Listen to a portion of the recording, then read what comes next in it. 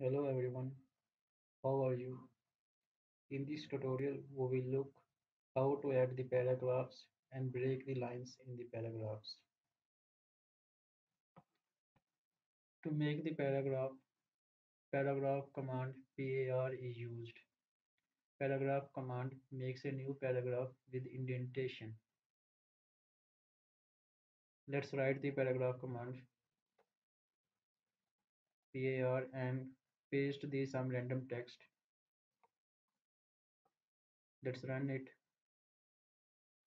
The paragraph is made here. To add the another paragraph, write the paragraph command and paste the some random text here.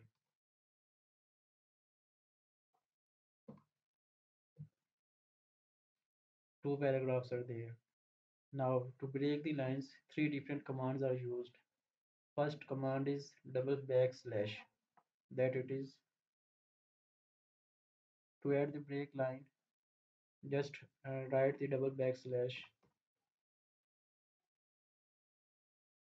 and the line is breaked. Second command is new line.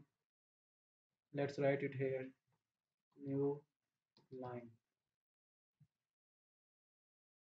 It breaks the paragraph here. The third command is line break. Let's write it here. Line break.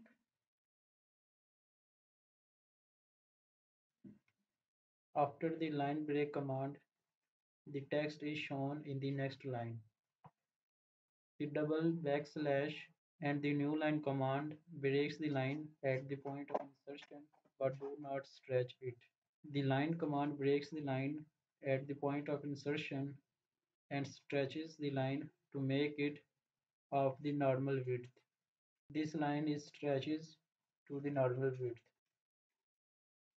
To add multiple line breaks in the paragraph, you can pass the length in double backslash command to add the multiple line breaks.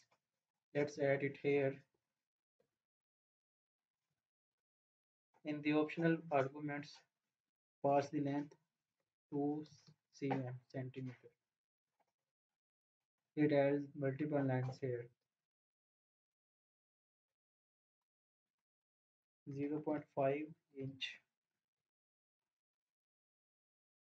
And the other unit is in points. 20 points.